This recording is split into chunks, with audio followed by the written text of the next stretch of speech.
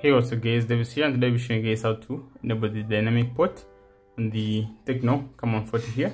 So what is the dynamic port? So it's a feature similar to what you have as the dynamic island on the iPhones, on the new iPhones, yeah? Have the pill shaped notch. So what happens if for example I plug in this phone, you see that uh, you get this pill shaped island right here as you can see this pop-up that covers up the notch yeah?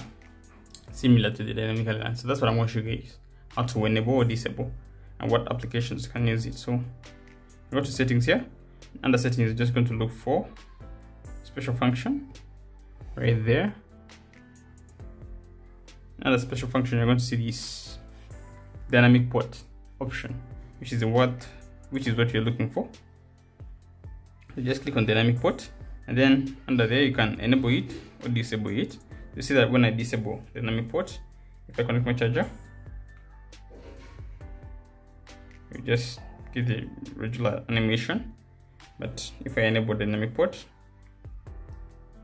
then yeah i get the feature. So you can also select which applications can use it.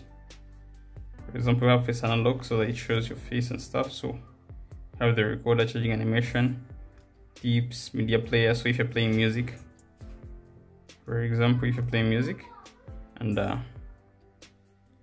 sort of uh, move out of the music application.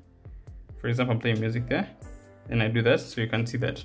You can see that you have a song playing and then you can just click on it like that expand it and change for example onto the next song just like that.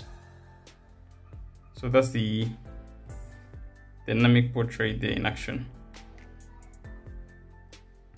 let's see the other features that you can enable. You can use it with nfc if you're scanning for example an, an nfc card something like that sms verification codes.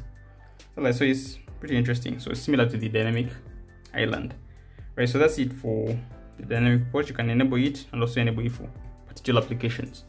So that is it for the dynamic port guys. Thank you guys for watching i'll catch you guys in the next video. Peace out